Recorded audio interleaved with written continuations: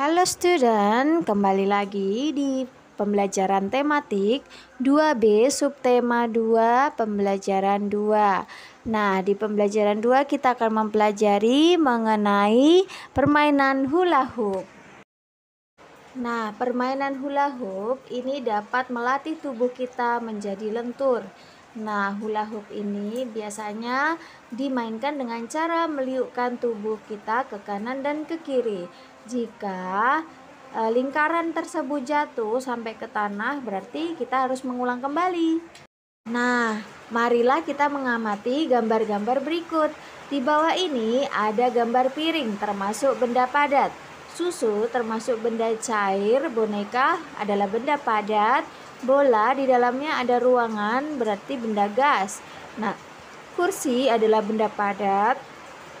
Lalu minyak benda cair, balon berisi udara benda gas, kayu termasuk benda padat dan bantal termasuk benda padat. Nah, beberapa benda tersebut sudah disebutkan jenis wujud bendanya.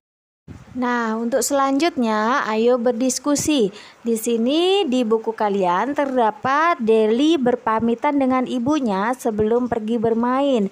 Maka ibu berpesan agar Deli tidak pulang terlalu sore. Nah, pesan ibu tersebut merupakan aturan yang harus kita taati. Nah, di slide berikut terdapat empat sikap yang perlu kalian beri tanda checklist yang boleh dilakukan atau tidak boleh dilakukan. Misalkan, membuat kegaduhan ketika bermain, boleh atau enggak? Iya, tidak boleh. Jadi beri tanda checklist pada tidak boleh dilakukan. Untuk nomor 2 sampai dengan 4 sama ya cara mengerjakannya. Nah, selanjutnya ayo berlatih. Yang pertama, tuliskan dua contoh benda padat yang ada di sekitarmu. Contohnya, kalau di sekolah ada meja, kursi. Nah, itu termasuk benda padat. Yang kedua, ceritakan ciri-ciri dan manfaat pada nomor satu. Ciri-cirinya pasti keras ya, volumenya tetap, tidak berubah bentuk. Kemudian manfaatnya kursi untuk duduk dan meja untuk Ya, untuk tempat belajar ya. Selanjutnya, nomor tiga, berilah tanda checklist pada gerakan meliukkan badan. Nah, tentunya yang memegang hula hoop ya, yang diberi tanda checklist yang meliukkan badan.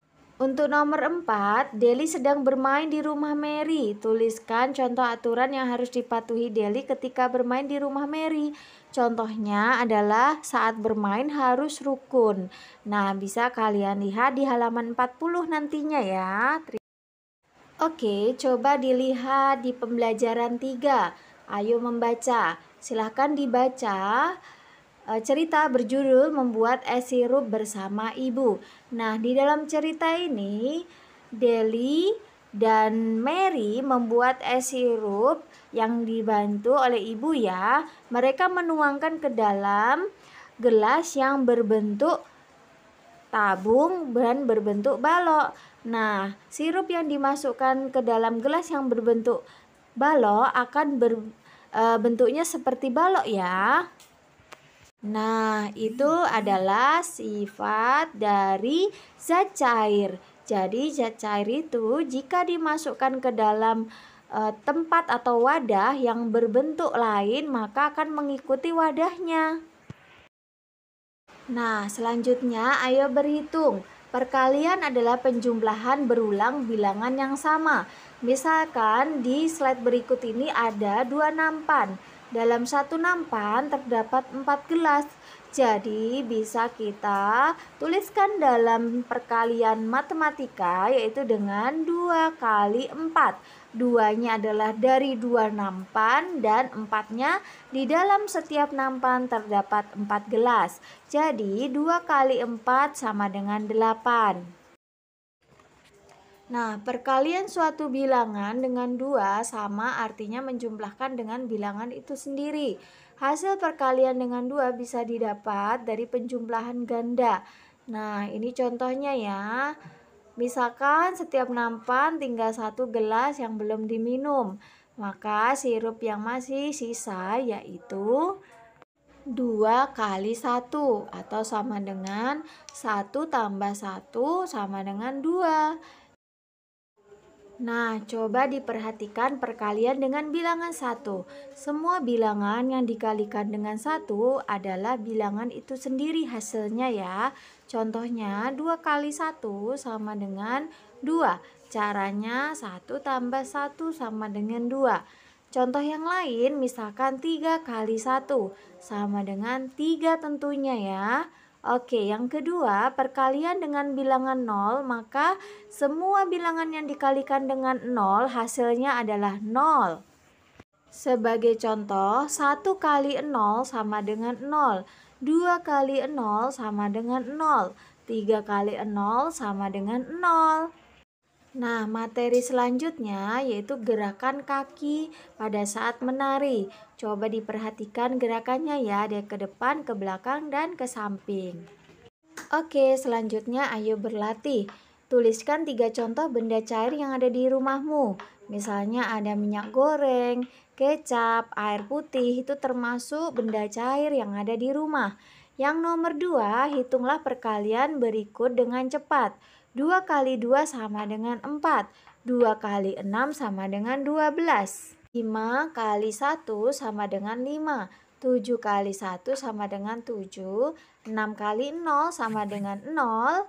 Kemudian 8 kali 0 sama dengan 0. Yang ketiga, berilah tanda centang sesuai gerakan yang dapat dilakukan anggota tubuh berikut. Nah, kepala bisa dilakukan yaitu menggeleng dan mengangguk. Kaki bisa untuk berjalan dan berjinjit. Kita lanjutkan di pembelajaran 4, ayo peragakan. Menari dapat melenturkan tubuhmu dan menari juga dapat menghilangkan rasa bosan. Kalian bisa menirukan gerakan kepala, tangan, dan kaki seperti di bawah ini sesuai hitungan ya. Misalkan tangan di atas, hitung sampai hitungan 8 dan gerakan yang lainnya bisa kalian coba di rumah sendiri ya.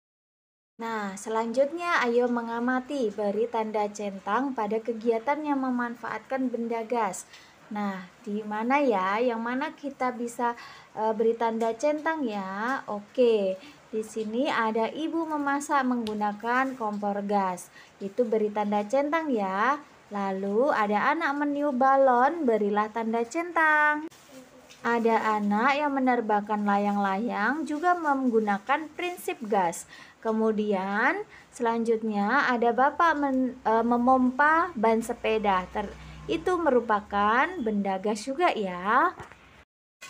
Oke, selanjutnya ayo berhitung. Coba lengkapilah tabel perkalian berikut. Nah, yang baris ke bawah itu namanya baris ya nak ya. Ada 1, 2, 3 sampai 10 ke kanan itu disebut dengan kolom. Nah, contohnya di baris kita ambil angka 2 dan di kolomnya kita ambil angka 3. Maka tariklah garis sehingga muncul hasil dari 2 kali 3 adalah 6. Oke, next. Isilah kotak yang masih kosong dengan hasil perkalian yang tepat. Gunakan tabel perkalian untuk menentukan pasangan bilangan dengan hasil kali berikut. Nah, misalnya di sini ada 12, berarti berapa kali berapa hasilnya 12? Ya, 1 kali 12. Dan contohnya lagi 2 kali 6 sama dengan 12. Untuk yang lainnya bisa kalian lihat di tabel perkalian ya. Oke, dan tugasnya adalah buku tematik halaman 50 yang ayo berlatih ya. Coba dikerjakan nomor 1, 2, dan 3. Terima kasih atas perhatiannya. See you next meeting. Bye-bye.